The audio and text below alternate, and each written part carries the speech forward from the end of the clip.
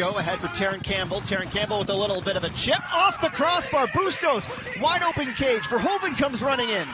Verhoven now with space. How's it going? He ties the game in the 68th minute. a broken down play, and Zach Verhoven with his first goal of the season, third as a member of Pacific FC, and we're all level. 1 1 in the 68th minute.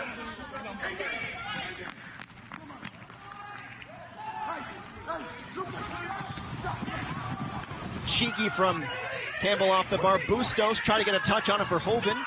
Picks it up in the broken play, and then he says, Hey, I'm going to have a go. I got the range.